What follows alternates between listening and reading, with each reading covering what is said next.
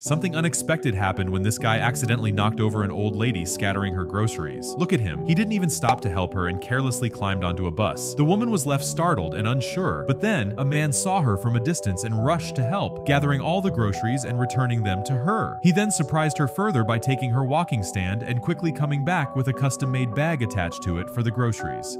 Overwhelmed with gratitude, the woman hugged him. He carefully put her groceries into the new bag and helped her onto the next bus, ensuring she boarded safely. If you think we need more people like him, subscribe.